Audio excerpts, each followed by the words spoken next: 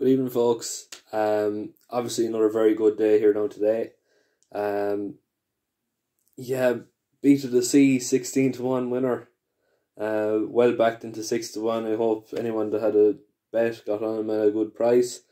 But um, yeah, whatever way you had a bet, if you if you if you stuck a few pound on them all, you're going to come out with a profit anyway. And um, look, I'm delighted.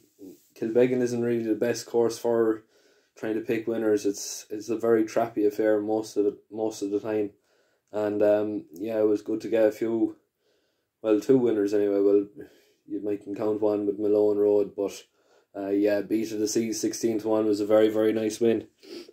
Moving on to Killarney now tomorrow. There's some very good racing going on.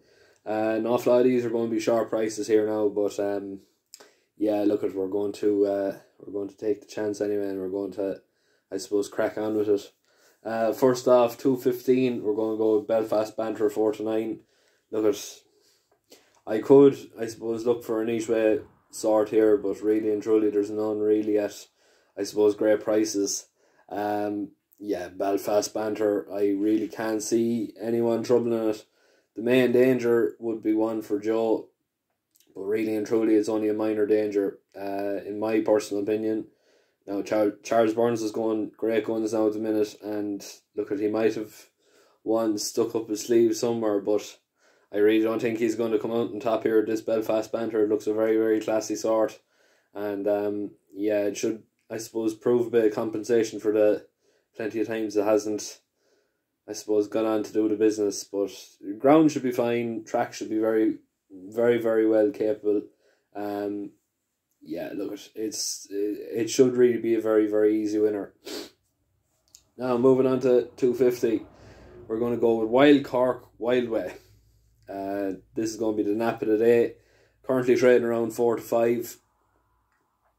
Look at, it was five and a half lengths down to A one in Limerick, if I'm not mistaken. I think it was Limerick. I'm not hundred percent sure. But um, yeah, it was five and a half lengths down to A one. A one was the superstar last year.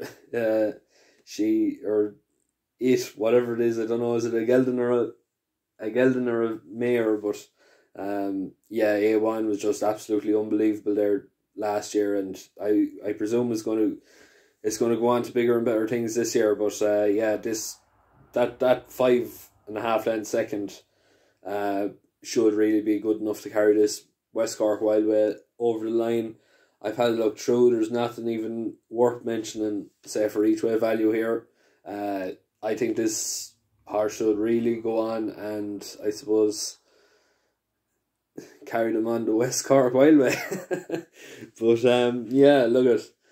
I really, I really can't see this horse being better. It, it, it ticks all the right boxes basically, and uh, I have more more confidence than most of, I suppose, napping this horse at four to five. Now, 325, we're going to go with my old, my old lady, uh, four to one. I suppose it's hard really to, I suppose, figure out this race. This favourite looks to be a sort of a progressive sort, but the worry, worrying thing is, it's not really the best on, on uh, say, Worston ground uh, really and truly, the only run it's got on any sort of soft ground or heavy ground, it pulled up like so. We don't really have anything to go by here. My old lady was a winner in Limerick over, I think, the same trip, and uh, in heavy ground, and it was a very very nice winner there that day as well. So really and truly, at the end of the day, that form should be good enough to, I suppose, get this horse over the line. Goes on all sorts of grounds. Um, has been in fairly decent form without, I suppose, knocking down any doors or knocking knocking down any shutters and windows or anything like that. But yeah, my old my old lady four to one is definitely a nice price. This is ni- it's a nicer price than the favourite here. Uh, now four o'clock. We're going with the next best of the day. Uh, Decor Irlandais going in at four to one. Really and truly, this William Wickham, yeah, it's in great form, but it's not a graded horse. Really, truly, it's not a graded horse. Uh, why it's nine to four favourite, I really don't know. Decor Irlandais is a Group Two winning hurdler. Uh, very very impressive last year. It was a sort of a rags to riches story, which everyone in Ireland knows that they like all the racing community gets gets behind them, and uh, we'll be getting behind this one here again now today. If I'm not mistaken, uh, Noel Kelly is coming down with only this horse down to Killarney uh, from the north of Ireland, so it's really travelling the the length and breadth of the country to come down here for this race. Uh, got a nice little shoe in in Galway over the festival. Uh, I think it was fourth that day, if I'm not mistaken. But um, yeah, look at it's it's it's a group horse in a hurdle in a handicap hurdle. Like really and truly, I cannot see this horse being bet.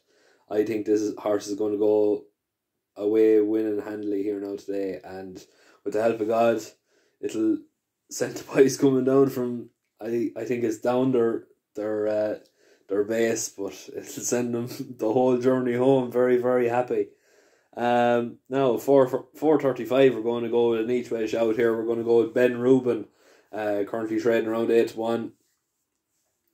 Few people might know, say that know me personally, but I've always been very, very fond of this horse. Uh, very, very nice looking potential sort of a horse. Uh, really, really and truly, it's this is what it's bred to do. This this horse is made for chasing. Uh, I I've been following it since day one, since his bumper debut. It was a very very impressive debut. I think it was second at that day, if I'm not mistaken.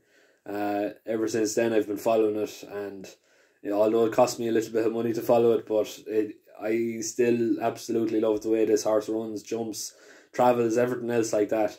Uh, looks to be really, really nice, nice looking potential for this sort of race here. Uh, Rachel Blackmore is on board for, say, Henry de Bromhead's stable, as usual. Nothing too, I suppose, not nothing to write home about there. Uh, she's the stable number one jockey, uh, really and truly. But yeah, made a very good debut for his um, its new connections uh, in the fourth in fourth. I can't even remember where the race was, but it was fourth. Um, and look at if it improves their air a bit, it should really feature here now today. It mightn't win, but I really fancy it to, I suppose, go on and run on for a place or run on into second or something like that. But um, don't be surprised if this horse, I suppose, causes a bit of a shock here now today. 505, we're not having a bet here. Galvin at 1 to 12 will win by 25 to 30 lengths. Should do anyway. I, I'm a big fan of wait and see, but this Galvin, look at he's he's a he's a class above. Uh, he was favoured for the Galway plate, and uh, he was aimed for the Galway plate. Only it just didn't work out. I don't think he even ran for the Galway plate, if I'm not mistaken. No, he didn't. Um, so look at he's going here today. He's surely in the form of his life if he was if he was going to go off favoured for the Galway plate. And uh, yeah, look at one to twelve. I wouldn't be I, I wouldn't be advising anyone to have a bet in that race. Just sit back and watch a superstar do what he does best. Uh, five thirty five. Smith's corner five to one.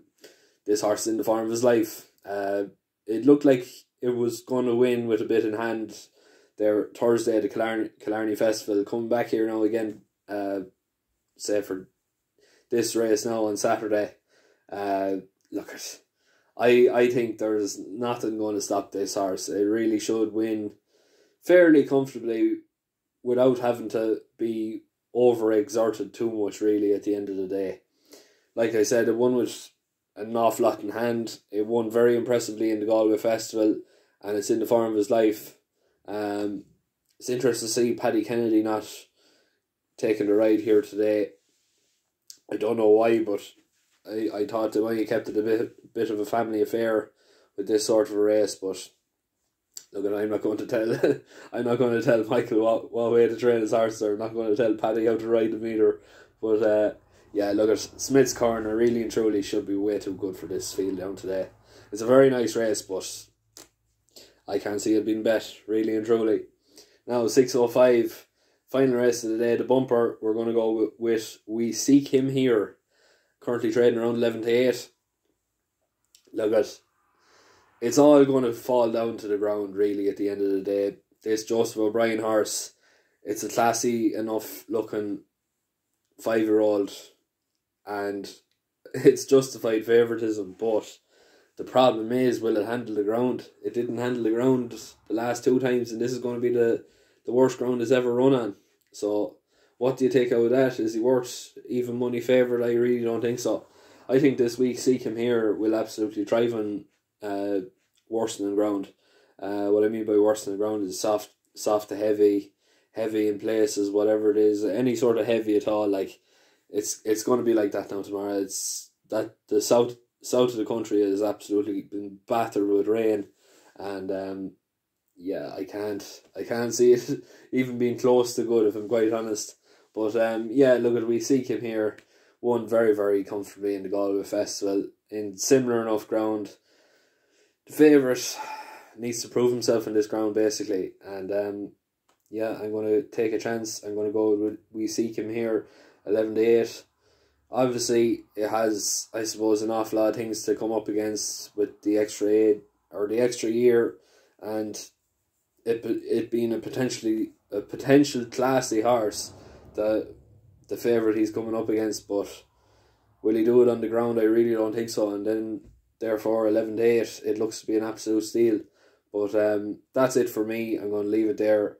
Uh, hope you all are enjoying these tip videos and hope that whoever's getting on board is starting to turn a bit of profit now that we're starting to get slowly but surely back in form. Uh, I know it was a costly thing to follow me over to more, but we're slowly but surely starting to make make it right now. But uh, look, like I said, I'm going to leave it there. Thanks very much. Make sure to like, share, and subscribe.